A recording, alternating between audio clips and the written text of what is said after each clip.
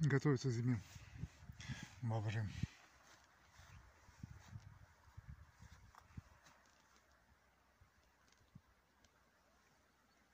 Подтопляют очередной участок.